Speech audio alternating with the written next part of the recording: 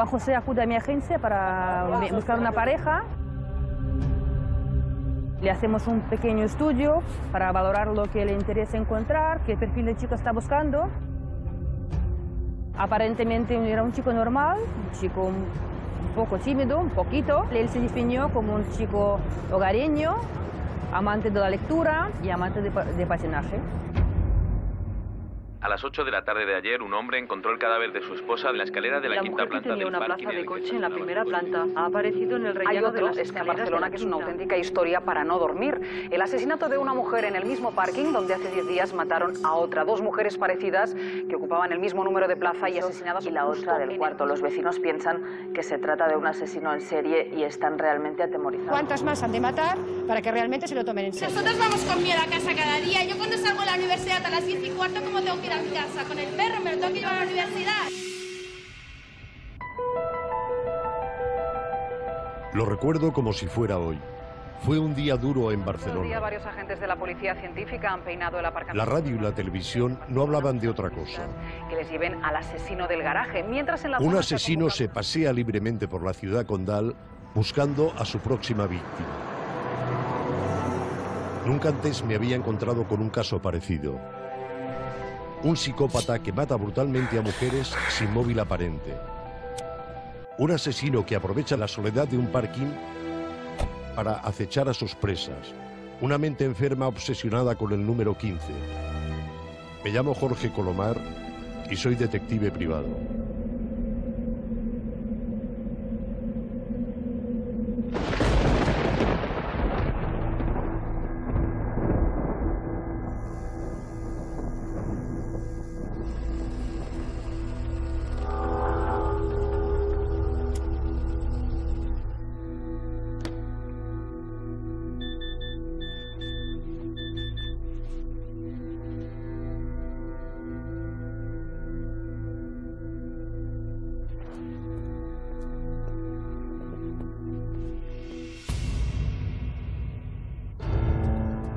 Ese día era sábado, enero. Tuve noticias de que algo había pasado cuando me llamó mi hija pequeña para decirme que su madre no había aparecido, que le extrañaba mucho, que la estaba llamando al móvil y no le contestaba, que estaba nerviosa. Empecé a hacer llamadas a todas partes. Llamé a la policía municipal, incluso a varios hospitales directamente, nadie tenía noticia.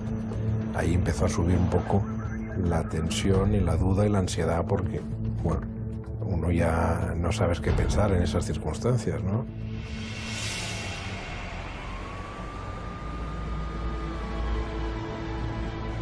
Yo llego a Barcelona sobre las 7 aproximadamente y mis hijos fueron al parking, yo también fui y vimos el coche de mi mujer aparcado en su plaza, cerrado, con llave.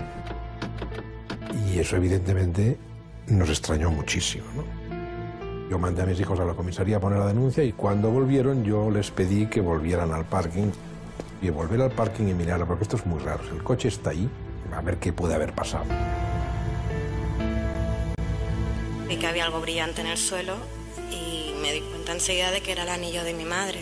Entonces lo cogí, en ese momento me puse muy nerviosa, me lo puse en el dedo, empecé a gritar y a darle golpes a la puerta, patadas porque estaba cerrada y yo me puse muy nerviosa, mi hermano no me oía. Yo me asomé por la barandilla porque estaba en el primer segundo peldaño. Miré, había una bolsa de basura y se asomaba una mano. La gente tiene miedo y la policía trabaja contra reloj. La mujer que tenía una plaza de coche en la primera planta ha aparecido en el rellano de las escaleras de la quinta. pistas que les lleven al asesino del garaje. El día 11 de enero del año 2003 marcó un antes y un después en el barrio del Puchet. Es uno de los mejores barrios de Barcelona, es un barrio residencial. Aquí mataron a María Ángeles, una mujer de 49 años que venía de una familia acomodada y que tenía cuatro hijos. Fue una tragedia. En esta zona no están acostumbrados a que pasen estos hechos. Un asesinato que descolocó a la policía, incluso a los investigadores que por curiosidad profesional nos interesamos en el caso. Todo sucedió en este parking. María Ángeles entró como cada día hacía para aparcar su coche y ya no volvió a salir viva.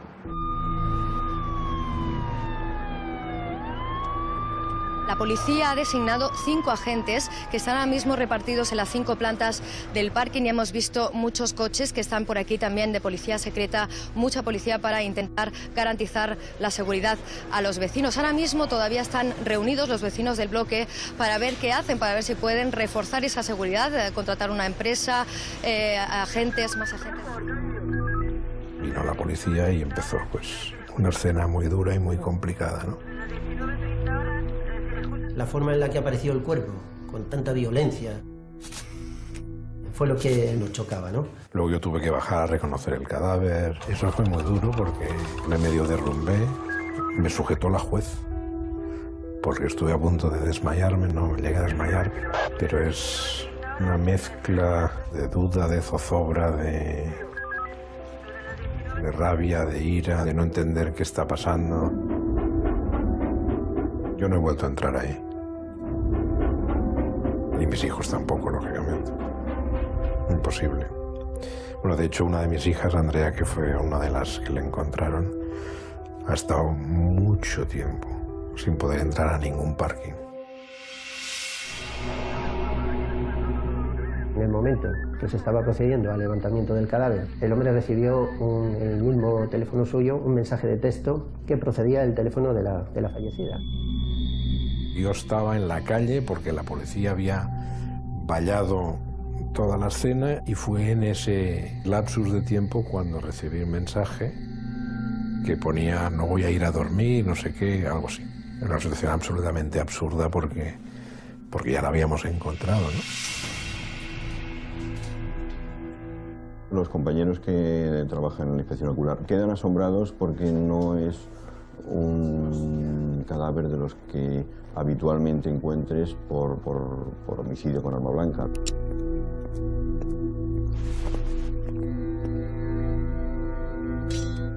Se resistió y se resistió fuertemente a la agresión. María Ángeles se resiste con valentía. Forcejean. No tiene tiempo de comprender lo que está pasando. De hecho tenía lesiones de arma blanca, pues en el abdomen, eh, alguna incluso podía ser en la cabeza. María Ángeles es una mujer fuerte, pero su asesino merma su voluntad a fuerza de cuchilladas. El asesino la obliga a bajar hasta la última planta por una escalera del parking que nadie utiliza. La tira por el hueco de la escalera. Y una vez en el suelo, su agresor la remata a golpes.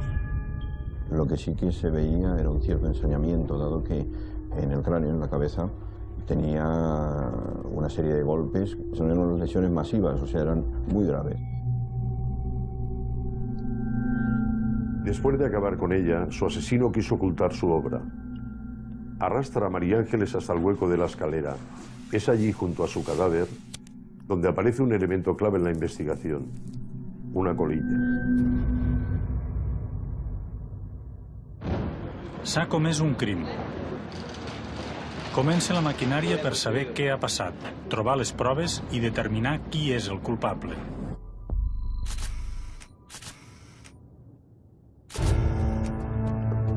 Nosotros entendemos que al ser una colilla limpia de sangre, tiene que ser posterior a la muerte de la primera víctima. Si es del agresor, se relaja fumándose un cigarro y se desentiende cuando tira allí la colilla.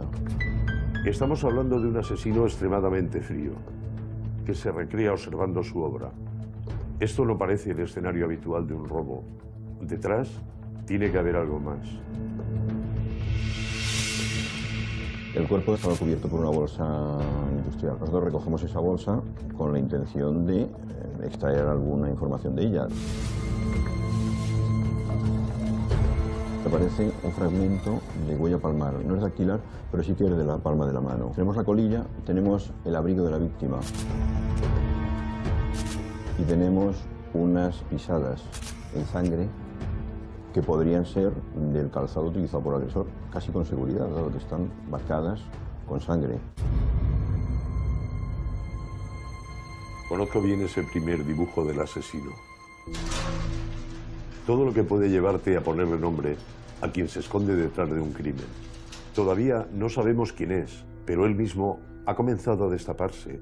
Es solamente una página borrosa una sombra perdida en cualquier ciudad.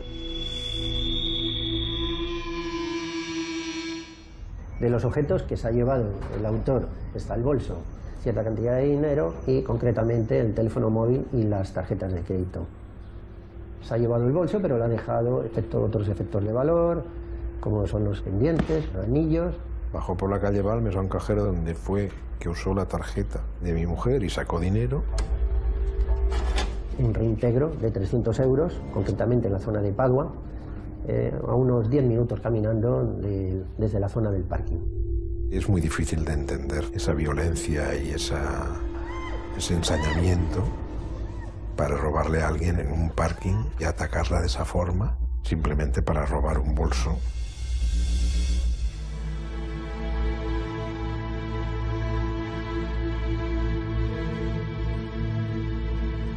Cuando estábamos arrancando en esta investigación, se nos da un caso que no se me ha dado hasta entonces. Llaman al marido de la víctima y le piden una cierta cantidad de dinero por darle información sobre cómo ha sucedido el homicidio de su señora. Mientras estábamos en el proceso de enterrarla, me tuve que separar un poco del grupo, coger la llamada. Se identificó como alguien que sabía lo que había pasado, que tenía información y que necesitaba dinero y que por tanto me ofrecía pasarme esa información a cambio de 2.000 euros concretamente. Primero un mensaje desde el teléfono de la mujer asesinada y después esto. En pleno entierro, sin respetar el dolor de la familia, alguien, el asesino o quizá un oportunista, quiere jugar al gato y al ratón con el marido de la víctima. Un juego perverso del que no puede renunciar, porque también es una pista que nos puede llevar a conseguir la detención del asesino.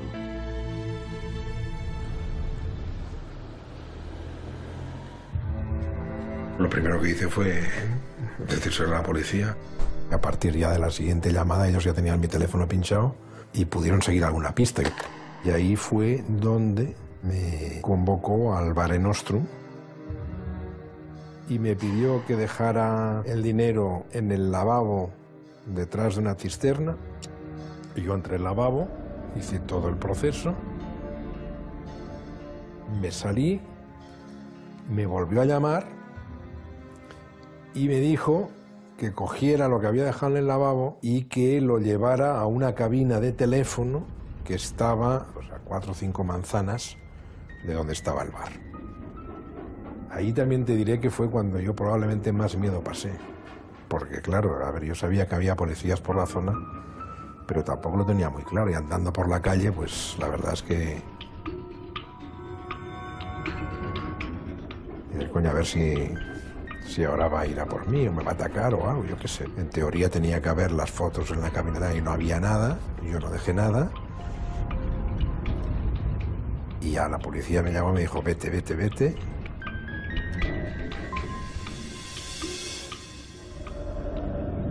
No tenía ningún acento raro ni extraño y, el vocabulario era bastante correcto, ¿no?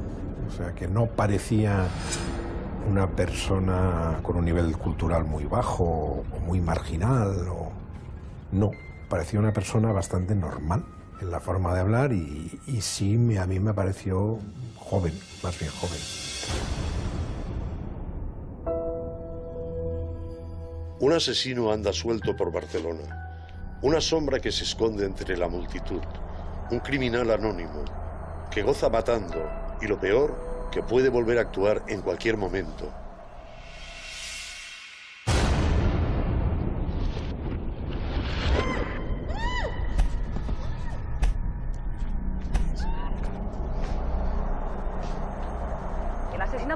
Mujer en el mismo parking donde hace 10 días mataron a otra. Dos mujeres parecidas que ocupaban el mismo número de plaza y asesinadas justo en el mismo sitio. Nos entra una llamada de que ha aparecido un cadáver eh, precisamente en el mismo parque. En solo 11 días, otra mujer, Maite de Diego, es asesinada en este parking. Las dos son rubias, elegantes, atractivas y de edades similares. Las dos aparcan su coche en, en la plaza número 15, pero de distintas plantas. Recibo un- una llamada de un, de un informante que me dice, había otro crimen. Digo, ¿ah, sí? ¿Qué? ¿Cómo es? Dice, es en la calle Beltrán. Digo, ah, ¿sí? Y es en un parking. ¿Cómo? ¿En un parking? Sí, sí, es en el mismo parking. Además, en el mismo número de plaza de parking del mismo parking. Se está liando una que se, se va a cagar la perra. Recuerdo que me dijo esta expresión. Tú estás en el barrio del Puchet de Barcelona. Supongo que aquí todo el mundo debe estar asustadísimo y sobre todo la gente que guarda el coche en ese garaje que tú tienes detrás. Pues sí, tan asustados, Ángels, que hoy casi nadie se ha atrevido a entrar y a aparcar su coche en esa plaza de parking que tienen asignada. Nos explicaban los vecinos que casi todos lo- los han aparcado por aquí fuera porque tenían mucho miedo. Claro, ahí el shock fue muy gordo, en el mismo sitio, aunque en plantas diferentes, esto que va de asesinatos en serie. No me lo puedo creer. Otra mujer en un hueco de la escalera, en el mismo parking. Los vecinos, policía y particulares que seguimos el caso tememos que en Barcelona hay un asesino en serie suelto. Y a partir de ese momento empezó la carrera contra reloj. Nos tenemos que poner a trabajar muy duro porque si ha habido dos, puede haber tres. La presión se, se podía morder. Pero claro, obviamente no sabemos qué hacer, porque claro, tienes el coche dentro, ahora no sé si marcharnos del parque y no sabemos qué hacer. Igual de intranquila, igual de intranquila. Que puedo entrar a la puerta de casa y no sé lo que me puedo encontrar. La gente está más, más temerosa y supongo que pondrán más, más policías. espantoso. Y bueno, recuerdo ver el coche, bueno, patrullas de los Mossos Escuadra, guardia urbana, ambulancias. Bueno, yo salí ver el, el féretro del parking, realmente impresionante. La forma en la que se había producido la muerte, utilizando similares armas, decidimos acercarnos al sitio. Vemos al marido de la, de la víctima, Ruperto, bueno, en esos momentos prácticamente no se podía hablar con él, era un hombre que estaba totalmente destrozado. Mi marido ha venido aquí al bar a las siete y media de la tarde llorando que había encontrado el cadáver de su mujer en el mismo sitio y en las mismas condiciones que el anterior. Bueno, de lo que ocurrió el día 11 de este mes. Según decía el marido, pues tenía herido el cuello y tenía una bolsa en la cabeza y había un charco de sangre. Todavía no pensaba en ningún momento que hubiera podido pasar eso. Fue solamente para satisfacer una curiosidad malsana que me había entrado y empecé a bajar para abajo. Y no sé a qué altura de las escaleras vi una especie de... para mí era como algo amontonado, pensé, tapado por algo. No sé cuántos escalones bajé hasta que vi claramente que era ella. No lo sé. Los mismos pantalones con los que la había dejado lavándose la cabeza en el lavabo. Maite era consciente de la realidad. Y Maite estaba muy asustada. Y todo el mundo estaba ahí asustada. Maite de Diego tenía 46 años y un hijo. Aquí estaba el gimnasio Sport Puchet, que era de su propiedad. Ese día tenía ella que entrar a trabajar a las 4 de la tarde. Pero Maite nunca llegó a su destino. La escena del crimen de la segunda víctima está mucho más escenificada. Esta persona, de alguna manera, se ha perfeccionado. Hacía 11 días que María Ángeles había sido asesinada en el parking. Maite estaba aterrorizada desde entonces. Solo entrar en el aparcamiento le produce escalofríos. Cuando se encuentra con el asesino, su mente se colapsa.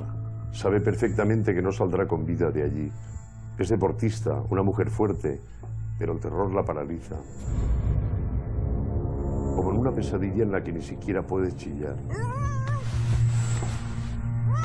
Esta mujer no ofrece ninguna reacción de defensa como pasó con la primera. Y a partir de aquí, pues bueno, él monta su, su- su película. Inmoviliza sus manos con unas esposas. El asesino la maneja como una marioneta sin voluntad y monta su truculenta escena final, más elaborada, más violenta, como si el cuerpo le pidiera llegar cada vez más lejos. Con una cuerda le ata los pies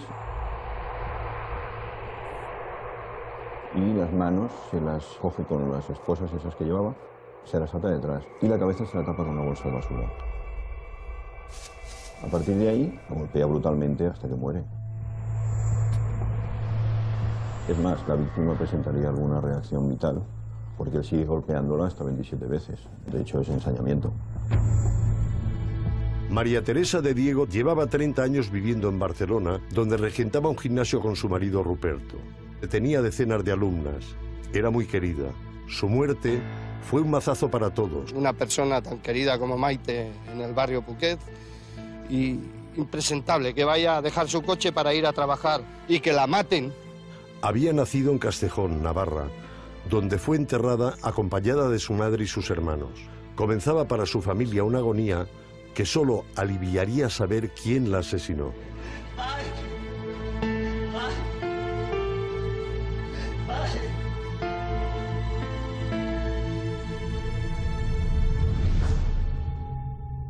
El día 11 mataron aquí a una señora. ¿eh? Si el día 11 mataron a una señora, y que mi mujer estuvo toda la semana sin venir, ¿cómo es posible que no hubiera la más mínima vigilancia de nada? A las 4 de la tarde.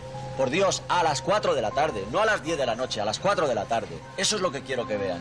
¿eh? Que mi mujer me lo decía, cada vez que paso por ahí, paso acojonada. Dice, paso acojonada. Eso es lo que yo le oía a mi mujer. ¿Entiendes? Si usted me permite, me gustaría leer una nota que dirigida a mi mujer por un grupo de alumnas y que me he encontrado al llegar eh, pues aquí al lugar de trabajo. La nota dice así: Maite, tú no te merecías esto. Fuiste para nosotras una gran amiga. Maite, no te olvidaremos. No será lo mismo sin ti, pero siempre estaremos contigo. El comportamiento del marido de Maite, Ruperto, era desconcertante. Su presencia en los medios de comunicación era constante, casi exagerada. Que, dejen que las mujeres lleven pistola o que dejen algo. ¿Me entiendes? Que hagan algo, que les dejen, que se puedan defender. Que se puedan defender. Porque mi mujer quería venir al parque con un cuchillo. Y yo me reía, me reía yo. Le decía, pero ¿qué dices? ¿Qué dices? ¿Qué dices? Un dato que nos saltó es que el marido de, de Maite, pues bueno, había tenido eh, antecedentes policiales.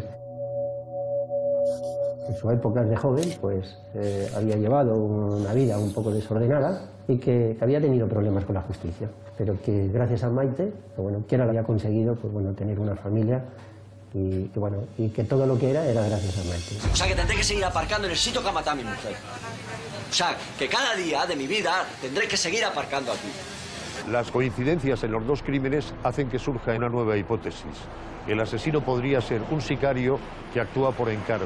Se habría equivocado de víctima en el primer caso y habría intentado enmendar su error en el segundo, consiguiendo matar a su verdadero objetivo, a Maite de Diego. A nivel físico, pues tenían un cierto parecido, eran las dos rubias, la misma edad más o menos, aparcaban en el mismo número de plaza, aunque en plantas diferentes. Qué extraño, ¿no? A lo mejor ha habido un error, ¿no? Y se ha corregido el error matando a dos. Pero hay cosas que no cuadran en la teoría del profesional. Un sicario que actúa por encargo nunca habría robado las tarjetas, nunca habría tirado una colilla en la escena del primer crimen. Además, ¿por qué ese ensañamiento? No, no encajaba. Un profesional habría sido rápido y limpio. Nunca habría repetido escenario. ¿Por qué matar a la segunda víctima en el mismo lugar que podía estar vigilado? Demasiados cabos sueltos. La cuestión es por qué quiere matar a Maite. ¿Qué tiene Maite? Se investiga, se indaga en la vida de las víctimas. Y no sale nada que nos indique que Maite tuviera ningún problema con nadie. No había deudas. Tenemos que pensar también que se ha dado una extorsión por el medio. No, no conozco que, que, se hayan dado casos de sicarios en los cuales haya por el medio el mismo sicario se mete en una extorsión al marido de la víctima con la que se ha equivocado. Hay cosas que, que, bueno, que son impensables. Después del asesinato de Maite, todo el barrio del Puchet, toda Barcelona, entra en pánico. Las mujeres por la noche tienen miedo de meter sus coches para estacionarlos en los parkings. Las calles se quedan vacías. Todo el mundo lo tiene claro. Hay un asesino en serie suelto en Barcelona. Hemos visto muchos coches que están por aquí también de policía secreta, mucha policía para intentar garantizar la seguridad a los vecinos. El barrio se ha convertido en un fortín. Hay un policía en cada esquina. A pesar de eso, los vecinos no ocultan su pánico, sobre todo las mujeres. Ser rubia, de mediana edad y bien parecida, como las dos víctimas, es sinónimo de miedo. Las vecinas, en este caso, estamos asustadas. A ver, nosotras tenemos un parking, a ver, no tenemos el número 15, yo tengo la 14, pero las características de esta chica también es la nuestra, la de mi compañera, por edad, por, por, por similitud. Las dos tenían edades parecidas, 46 y 49 años. Eran casi iguales, una un poco más alta y otra un poco más baja. Pero de medida y de así, de así de gordura y eso, casi iguales. ¿eh? Yo estoy aparcando, pero en mi vida he pasado tanto miedo con 26 años que vivo aquí como estoy pasando hace 15 días. Pienso dejarlo fuera de momento porque no estamos para jugar otra de la vida, ¿no? Pero en fin, eh, lo que pasa es que hay que seguir viviendo, ¿no? A mí me, me, llamaba la atención que faltaban coches. Yo pensaba que raro, todos a la vez de vacaciones, pues no, se iban por, por miedo. Y ahora todavía más gente ha sacado su, su vehículo. Mucho miedo, porque claro, hasta que no se sepa lo que ha pasado, obviamente mucho miedo. Y un buen ejemplo es este coche que está aparcado en la calle, con una nota en la que advierte a la policía que no le ponga una multa porque tienen miedo de entrar en el parking. Nosotros vamos con miedo a casa cada día. Yo cuando salgo de la universidad a las 10 y cuarto, ¿cómo tengo que ir a mi casa? ¿Con el perro? ¿Me lo tengo que llevar a la universidad? Voy andando.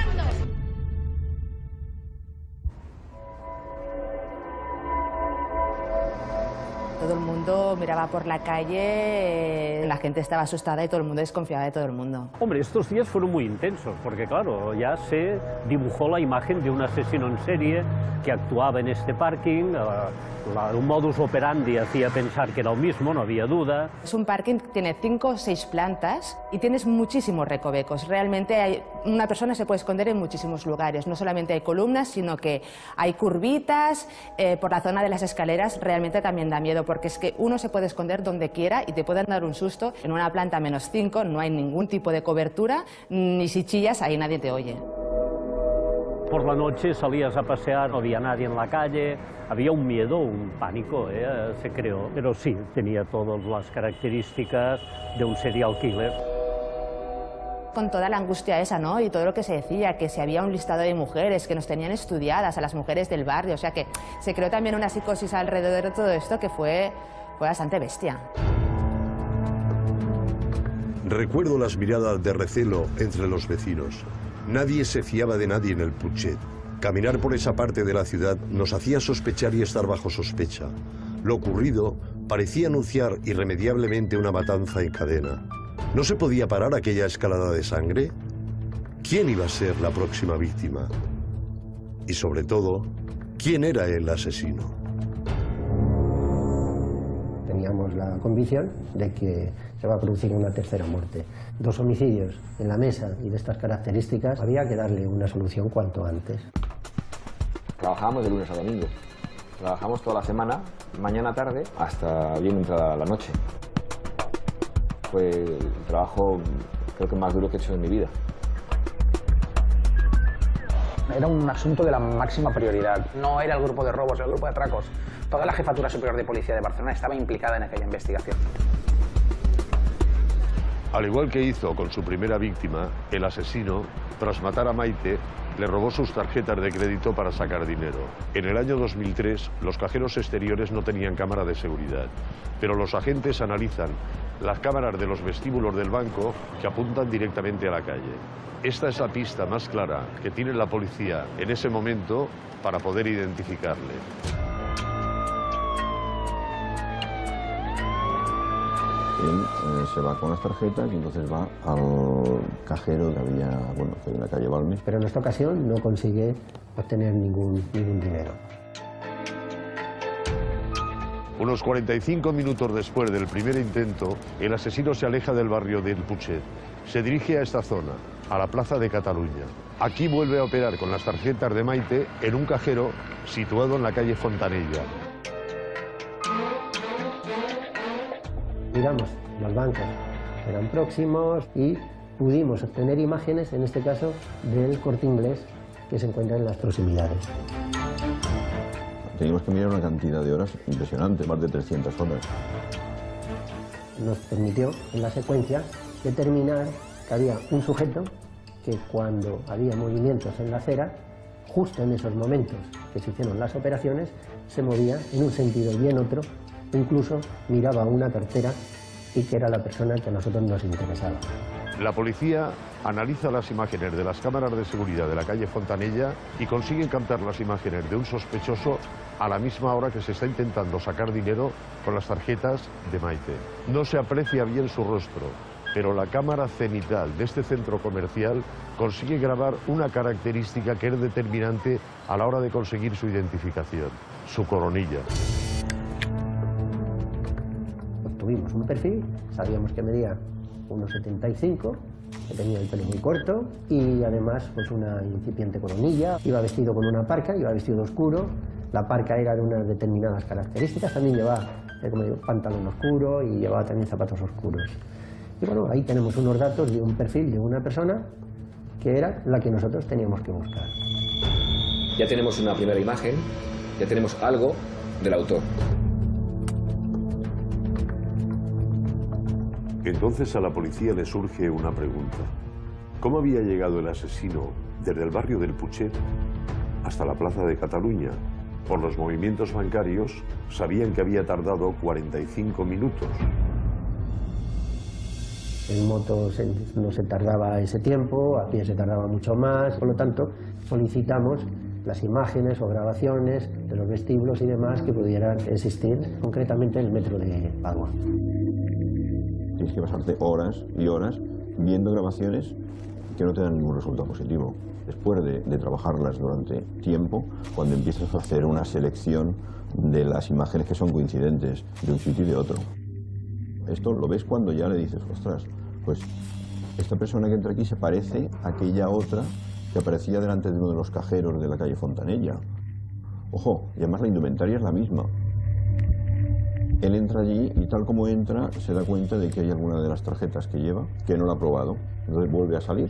Era una persona de 25-30 años, unos 75 de estatura, tenía la piel clara, era delgado, fibroso, hombros caídos, las piernas delgadas, el pelo era castaño, lo tenía muy corto y también una incipiente coronilla, un mentón pequeño, ojos hundidos y pómulos marcados. No tenía barba, no usaba gafas. Hay un momento decisivo en cualquier investigación. De pronto el sospechoso ya tiene cara. Decidimos ponernos a buscar a esa persona. ¿Dónde teníamos que buscarla? Pues en diferentes sitios por donde hubiera podido dejar un rastro, como era el caso del Bare, del Bare Nostrum, ¿no?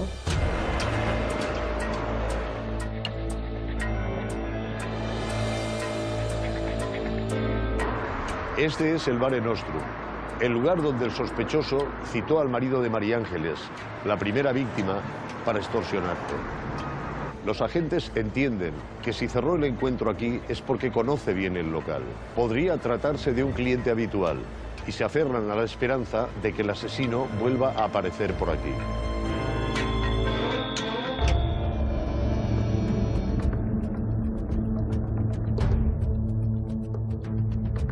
Establecimos un dispositivo Apareció una persona que podía ajustarse a las características físicas del que buscábamos.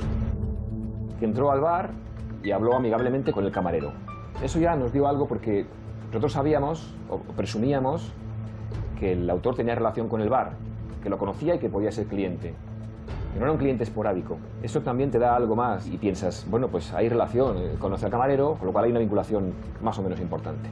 Y se ajusta físicamente a las características. Pero la cuestión fundamental es que al salir del, bar, cuando se gira y sale del bar, la luz del, del local le incidió de tal forma por la espalda en la cabeza que dejó ver lo que parecía una incipiente coronilla. Cuando veo la coronilla, a mí el corazón me puso a 200. Yo mm, pensé que estábamos ante el asesino. Yo soy el que lo, veo en ese momento. A mí es el que me da el vuelco al corazón. Y yo quiero transmitir a mi jefe y a mis compañeros que ese, ese, ese puede ser. Es algo subjetivo, es algo que sientes tú. No es una huella, no es un ADN, que es irrefutable. Es una apreciación personal que tiene uno. Cuando sale del bar, yo comunico con el equipo que está afuera, oye, va para allí un tío, que no se os escape, por favor, por favor, que no se os escape.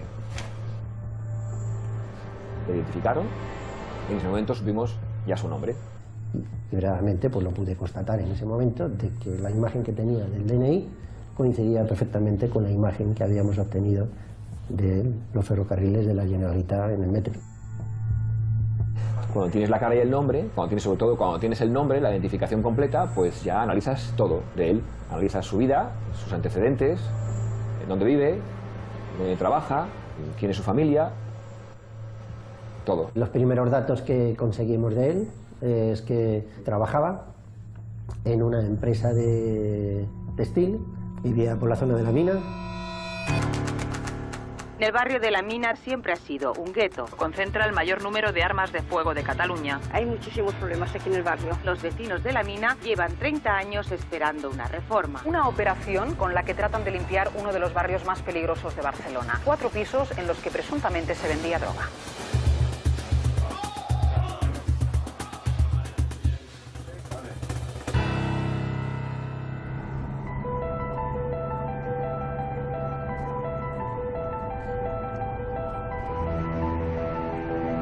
José Pérez Rangel es un joven de 24 años, aparentemente normal.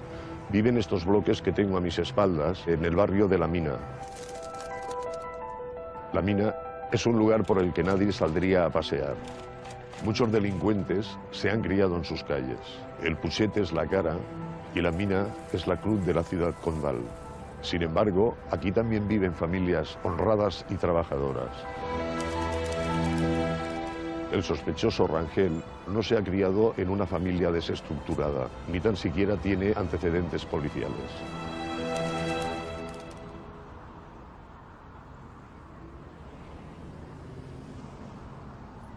A partir de ahí, a esa persona eh, se le monta una vigilancia y un seguimiento de 24 horas. Habíamos conseguido averiguar que tenía impagos, deudas en bancos, ambulaba por Barcelona, había salido de su casa, incluso portando el bocadillo, como si fuese a trabajar normalmente, pero iba sin ningún rumbo fijo, parando por distintos sitios de, de Barcelona, viendo periódicos, yendo a un parque, sin contactar con nadie. Siempre tienes el miedo de que se te pueda escapar en un momento dado y lo- se te despiste de la vigilancia y no lo localices. Y no se le puede dejar que cometa otro asesinato, porque estábamos convencidos de que habría un tercero. La policía lo tiene vigilado día y noche. Le siguen a todas partes, pero no le pueden detener todavía porque no tienen indicios suficientes para demostrar su vinculación con el parking donde se cometieron los asesinatos. Solo falta una pieza para completar el puzzle, la pieza que le relaciona con el lugar del crimen.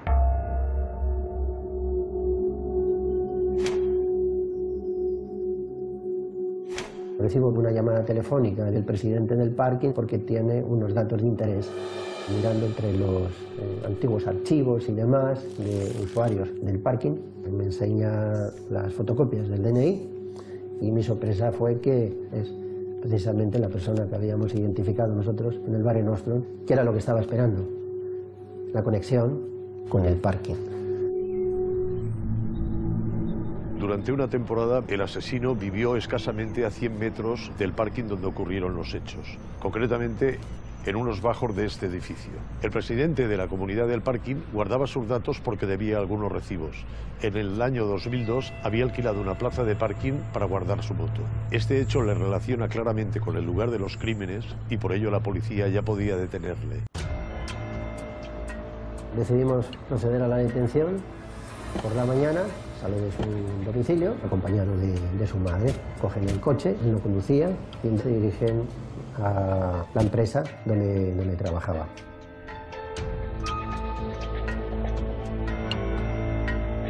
La detención se hace exactamente en el término de San Adrián del Besós.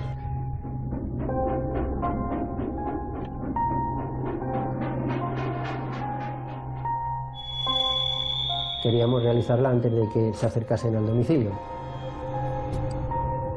La madre, que en ese momento no se podía imaginar que la policía estuviera detrás de su hijo. Su hijo no tenía antecedentes, era una persona, para ella eh, trabajaba en la empresa, no, no se creía en ese momento que le, que le estuviera pasando lo que, lo que realmente estaba viviendo. En todo momento se mostró muy educado y se mostró una persona muy tranquila, muy tranquila. Me traen a Juan José detenido ya y me senté ya con él. Le dije, Juan José, esto ya se ha acabado. Informé de los derechos y no tuve ninguna reacción, ni en un sentido ni en otro. La primera vez que entrevistamos a Juan José Pérez Rangel, enseguida me di cuenta de que le era muy difícil mantener la, la mirada de una mujer. Eh, a mí me contestaba siempre mirando, mirando hacia abajo. Lo primero que me preguntó fue, ¿qué me vas a preguntar si soy culpable?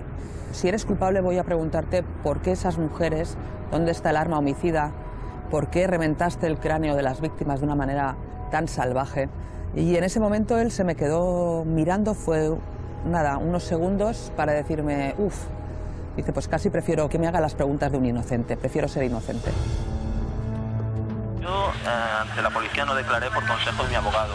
Si eres inocente, lo normal es que tú hubieras querido declarar. Eh, y yo quería declarar, pero él me dijo que no. Ante la policía yo declaré. E incluso la policía eh, dijo que yo había declarado que, que, era culpable, algo que es ilegal, ¿no? Sin la presencia de un abogado. A mí es el que me confesó que había sido, ¿no? Y nada, pero eso no tiene validez.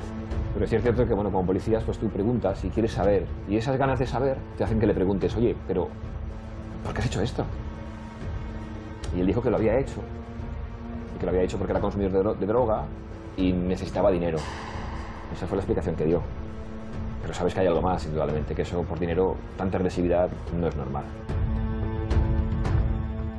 De los efectos que llevaba encima, la sorpresa nuestra fue encontrar un juego de llaves que abría las puertas del parking, aparecieron unos papeles con anotaciones, comprobamos que eran vigilancias que había realizado en el parking.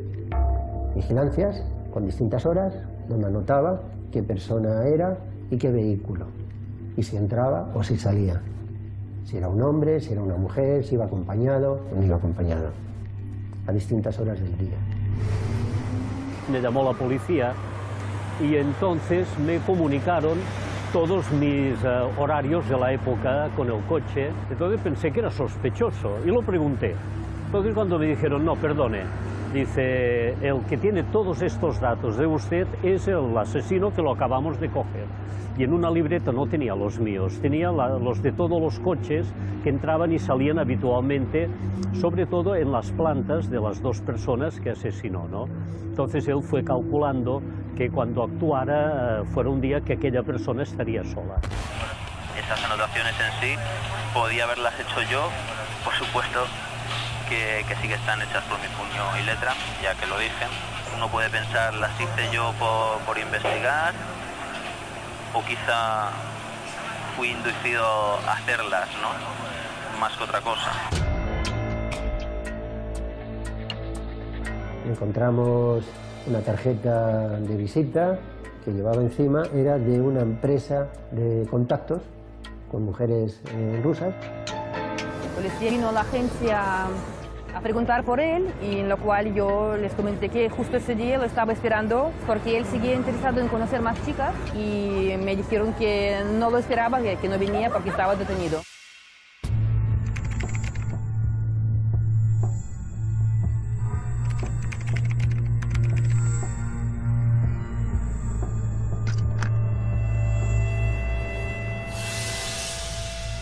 Un mes antes del primer asesinato, Juan José dirigió sus pasos a la agencia matrimonial Volga en Barcelona. La mente fría y calculadora de Rangel ya pensó con meses de antelación una estrategia para sus macabros planes. Pagó los 1.200 euros que costó que Elena viniera a visitarlo justo los días en los que cometió los dos asesinatos. Barajamos varios perfiles de las chicas que querían venir a conocerle. Nos quedamos con la chica Elena esta que venía a Barcelona a pasar unas dos semanas y conocerle un poquito, o sea, en plan de amigos, pero con un derecho de profundizar un poco la relación.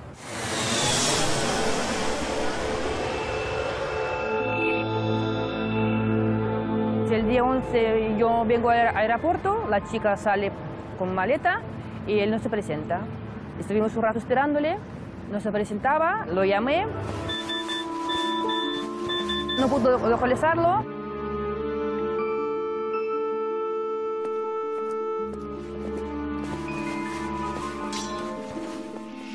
Seguí llamando, conseguí hablar con él y él me dijo que había tenido un accidente con el coche y llegaba en nada, en, un ratito. Luego sobre las dos o por ahí él se presentó aquí en Paseo de Gracia para recoger a la chica. Cuando lo vi, lo vi un poco nervioso, con arañazos en la cara, no muy profundos, pero arañazos, y la ropa era bastante sucia, como si fuera estuvo tirado por el suelo. O sea, y es cuando me dijo que había tenido un accidente y se discul- disculpaba por la apariencia que tenía. Le presenté a la chica y ellos se fueron para su casa o no me acuerdo dónde.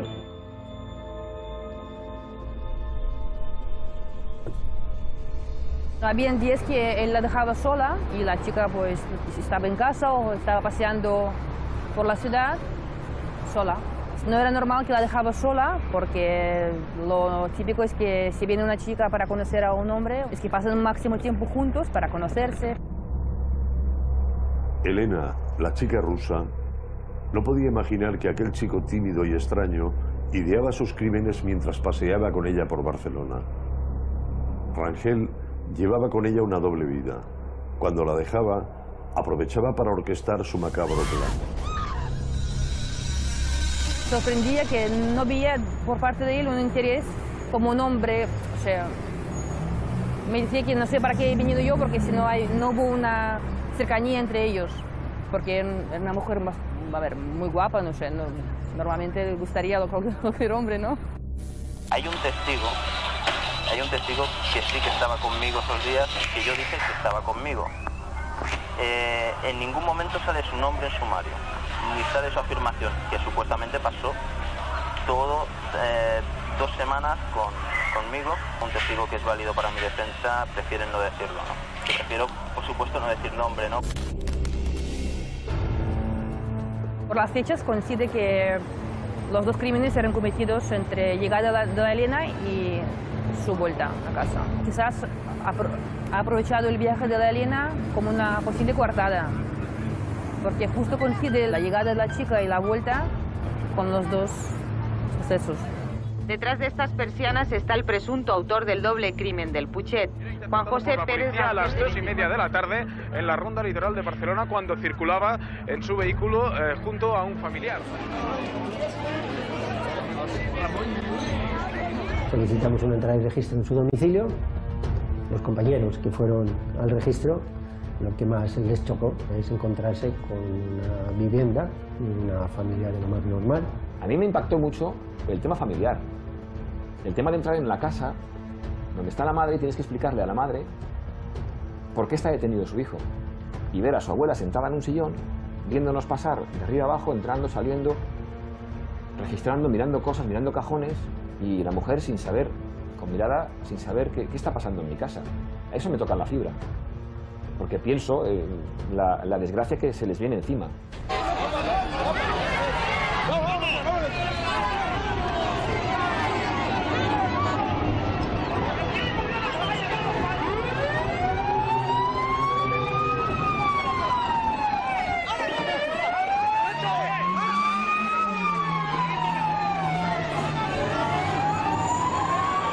buena ¿eh? de verdad, de verdad. Y si, si habla de ellos por todos los barrios, a ver lo que nos van a decir de esta gente. Buena familia. Familia humilde, trabajadores normales.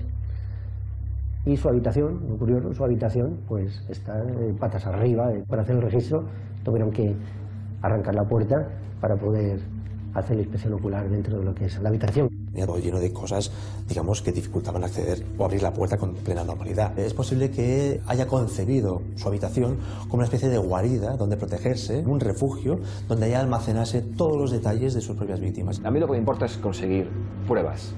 Y salieron pruebas, salieron las anotaciones, las agendas, la agenda donde apuntaba las matrículas, se le tomó una impresión dactilar, palmar, que luego coincidió con la de la bolsa de, de basura, los grilletes eh, famosos, muy, muy importante, porque lo vincula con el, con el lugar.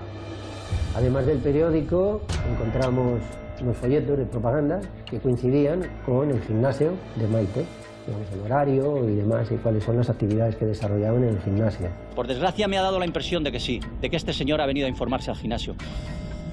Por desgracia creo que sí, creo haberlo visto. Vimos que tenía revistas de criminología que hablaban de- del CSI. Ahí sí que pude tener la sensación de que quizás podía haber intentado un pulso con la policía. Juan José Pérez Rangel lo que quería ver es cómo trabajaba la policía y cómo que de alguna manera la policía estaba totalmente descolocada. Lo que quería observar, digamos, es cuál era la reacción de la gente ante el comportamiento que haya, que ha desarrollado, evidentemente, de forma muy maligna, y en este caso, pues muy agresiva y muy hostil. ¿Qué eh, impacto social ha podido desarrollar el que haya podido cometer ese tipo de crímenes? Soy inocente. Cuando mató a la primera víctima, es decir, luego quedó con una chica rusa. Eso ya es indicativo, ya, es- ya muestra un comportamiento de tipo frío y calculador. Es decir, una persona que no tiene ningún tipo de miramiento hacia el sufrimiento de, de la víctima que acaba de matar dos horas antes. Juan José, ¿qué te parece lo que está ocurriendo? ¿Tienes alguna cosa que decir? ¿Sigues pensando que eres inocente? ¿Te hubiera gustado declarar? ¿Por qué no hablas? ¿Alquiló usted una plaza de aparcamiento en, el, en la calle Beltrán? Sí. Sí, son mías. ¿Puede usted decir a, a qué pertenecen? Sí, son las del parque, ¿no? Son las del parking. Sí. ¿Podría usted decir qué días del mes de enero estuvo usted en el aparcamiento? ¿Qué días del mes de enero? El día 10 por la noche entré. Eh, y días posteriores. mm, días después de la, de la primera muerte. No sabría decirle exactamente qué días. Creo que el 12, 13, 14, si no me equivoco, no, estaré, no estoy seguro. Los días siguientes de la primera muerte. ¿Qué es lo que hacía usted? ¿Qué es lo que hacía yo? Sí. eh, tras darme cuenta de lo que había pasado allí en el parking, bajé abajo y vi el lugar de los hechos donde había pasado todo.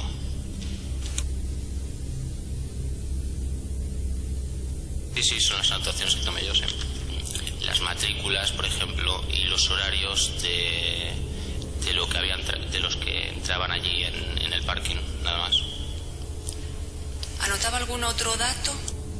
Sí, no sé, datos, por ejemplo, vehículo, datos, por ejemplo, de las personas que iban, nada más. Si eran hombre o mujer, por ejemplo. Además de aspecto, además de matrículas. ¿Qué sentido tiene todo esto? ¿Qué sentido tiene? Pues simplemente podría llamarlo usted investigación, podría llamarlo hobby, podría llamarlo como quisiera, curiosidad.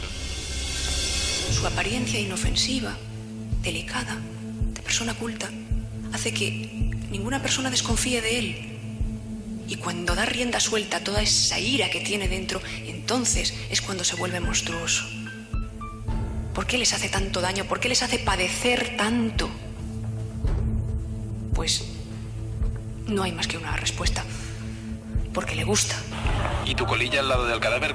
¿Cómo llega allí tu ADN a la colilla que está al lado del cadáver? Primero, yo dije en juicio que es muy fácil que llegue mi ADN allí. Es muy fácil. Po- podía haber tirado la colilla ahí abajo. Yo no, me, yo no recuerdo lo que hago todos los días. Yo ya dije que yo y fui a ese parking, pero no en los momentos de la muerte. Fui el día antes. Eso es cierto. Él lo que intenta es imputar la autoría de los delitos al marido de la segunda víctima, a Ruperto. Que miren la página 173, antecedentes penales de Ruperto Bilbao Villa. Gracias. Han- por agres- agresión sexual y prostitución. Y yo les he traído aquí mis antecedentes penales. Yo no tengo antecedentes penales de ningún tipo. De ningún tipo. De ninguno. Ninguno es de nada. Absolutamente de nada. Y Juan José lo que intenta hacer creer es que Ruperto es el autor intelectual, que la primera víctima es un error y que es un sicario el que encargado de matar a la segunda víctima, que por error acaba con la vida de la primera también.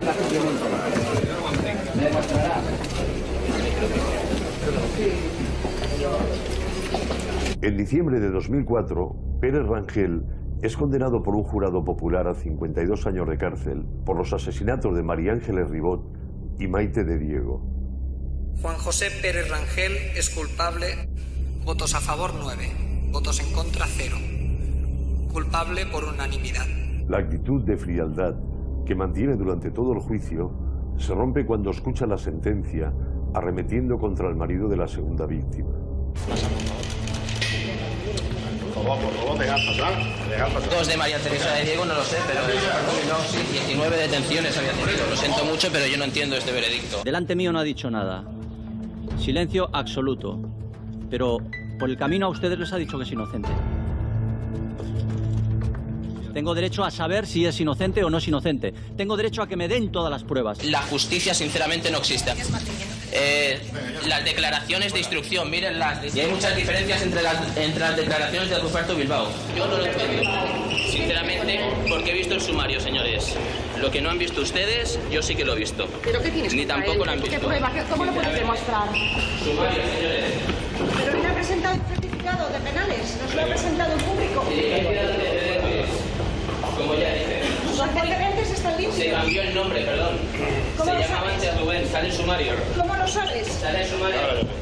¿De qué lo conoces? ¿De qué lo conoces? ¿Qué tienes que Es un hecho demostrado por la policía y luego por la justicia, es que la persona que, que cogieron y que está encarcelada es el autor material de esas dos muertes y que está donde tiene que estar.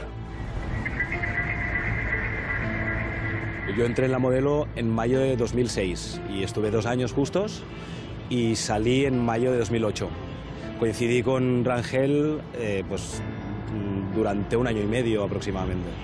Yo lo definiría un tío tranquilo, nivel cultural alto, o al menos es lo que él intentaba aparentar en, su conversación, ¿no?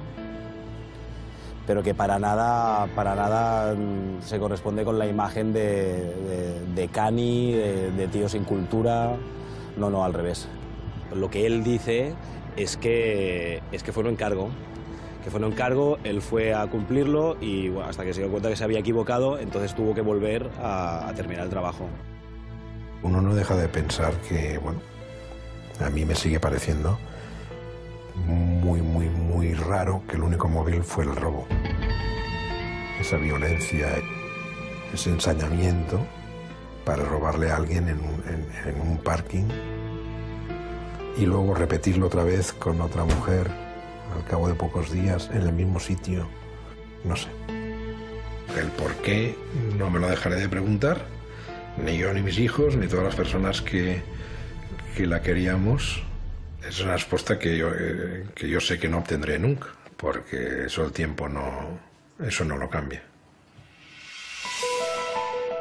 Esta es la historia de Juan José Pérez Rangel, un asesino sin conciencia que quiso echar un pulso a la policía. Una apuesta que acabó perdiendo y que destrozó a dos familias en el intento. Este es el caso del asesino de la plaza número 15. La oscura obra de una mente trastornada que tuvo aterrorizada a Barcelona durante todo un mes.